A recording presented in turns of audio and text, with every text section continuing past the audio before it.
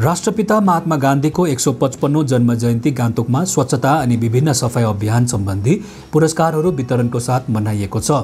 गान्तोकको एमजी मार्गमा आयोजित गान्धी जयन्ती दुई हजार चौबिसको विशेष कार्यक्रममा राज्यका राज्यपाल ओमप्रकाश माथुर मुख्यमन्त्री प्रेमसिंह तामाङसहित विधानसभा अध्यक्ष मन्त्रीमण्डल विधायकहरू र सिक्किम सरकारको आला अधिकारीहरूको उपस्थिति रहेको थियो। महात्मा गान्धीको प्रतिमामा माल्यार्पणबाट सुरु भएको सो कार्यक्रममा विशेष रूपले राज्यको विभिन्न स्वच्छता अनि सफाई कार्यक्रमहरूमा विशिष्ट योगदान पुर्याएका लोकल बडिज एसएचजी र सफाईकर्मीहरूलाई राज्यपाल अनि मुख्यमन्त्रीको बाहुलीबाट विभिन्न पुरस्कारहरूले सम्मानित गरिएको छ। सहरी विकास विभाग अन्तर्गतको क्लिनेस्ट अर्बन लोकल बडी अवार्डको प्रथम अवार्ड मङ्गन नगर पञ्चायतले जितेको छ भने दोस्रो स्थान रम्फू नगर पञ्चायत र तेस्रो स्थान सिङताम नगर पञ्चायतले हासिल गरेको छ।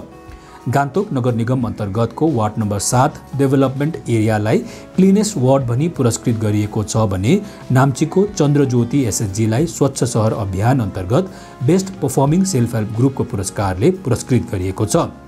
कार्यक्रममा विभिन्न नगरपालिकाहरूमा योगदान पुर्याइरहेका सफाई मित्रहरूलाई पनि सम्मानित गरिएको छ जसमा गान्तोकबाट फुर्मित लेप्चा मनु तामाङ टिकाराम छेत्री अनि श्यामकुमार सुब्बा नाम्ची नगर परिषदबाट दलबहादुर लिम्बू नयाँ बजार जोथाङ नगर पञ्चायतबाट रवि रावत रम्फू नगर पञ्चायतबाट दिलीप रावत सिङताम नगर पञ्चायतबाट लोकेश वाल्मिकी मङ्गन नगर पञ्चायतबाट नरेश राम अनि गेजिङ नगर पञ्चायतबाट मोहनबहादुर सन्यासीलाई पुरस्कृत गरिएको छ।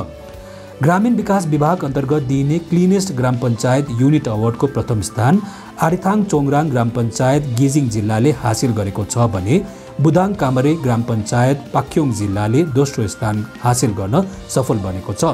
तेस्रो स्थानमा लिङदोङ बार्फो ग्राम पञ्चायत मङ्गन जिल्ला र साम्लिक मार्चा ग्राम पञ्चायत गान्तोक जिल्लालाई संयुक्त रूपमा पुरस्कृत गरिएको छ। गान्तोक जिल्लाको स्टेट सर्किट हाउसलाई स्वच्छता ग्रिन लिफ रेटिङ्स एसजिएलआर अन्तर्गत स्वच्छता ग्रिन लिफ रेटिङ सर्टिफिकेट प्रदान गरिएको छ भने स्वच्छता ही सेवा क्याम्पेन अन्तर्गत बेस्ट पर्फर्मिङ डिस्ट्रिक्टको रूपमा मङ्गन जिल्लालाई पुरस्कृत गरिएको छ। कार्यक्रममा पब्लिक हेल्थ इन्जिनियरिङ डिपार्टमेन्ट अन्तर्गत काम गरिरहेका सिभरेज वर्कर्सहरूलाई पनि पुरस्कृत गरिएको छ जसमा योगनाथ शर्मा पासङ तामाङ दवाछिरिङ भुटिया विर्तमान तामाङ र उगेन लेप्चालाई पुरस्कृत गरिएको हो। गान्तोकबाट सिक्किम क्रोनिकलको लागि पल राईको यो रिपोर्ट।